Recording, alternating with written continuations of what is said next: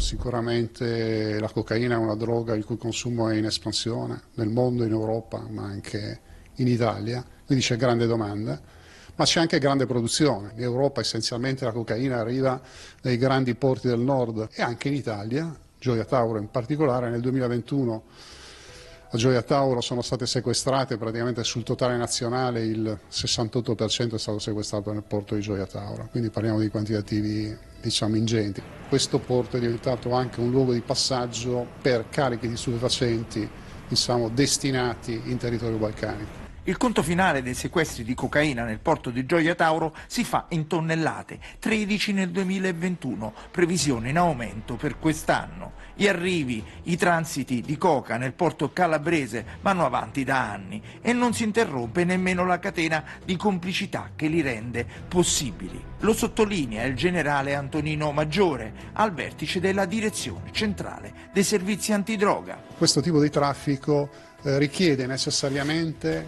la collaborazione di qualche operatore, una collusione interna di operatori portuali che si prestino diciamo, a farsi corrompere e quindi a far uscire poi la droga diciamo, dagli spazi portuali. È un sistema che presuppone una corruzione sia nel porto di partenza e così come eh, nel porto di arrivo diciamo, la, l'asportazione del container comporta anche in questo caso la rottura del sigillo, la sostituzione con un altro. Con la coca si guadagna un mare di denaro. Logico che le organizzazioni dei narcotrafficanti si alleino. Sicuramente l'andrangheta conserva un ruolo importantissimo, uno dei principali player a livello mondiale sul traffico di cocaina, ma anche le organizzazioni balcaniche stanno prendendo piede. Il tasso di redditività diciamo, dei traffici di droga è il più elevato in assoluto.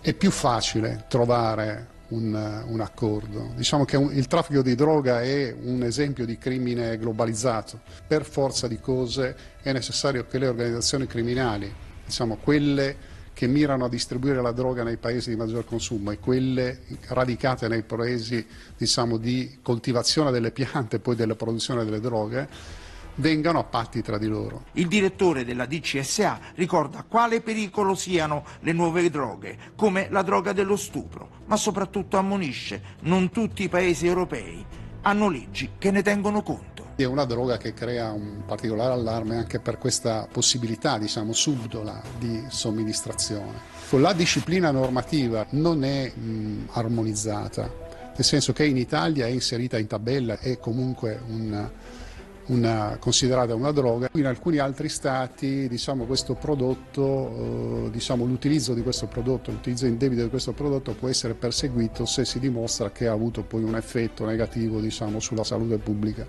ma non è così automatico.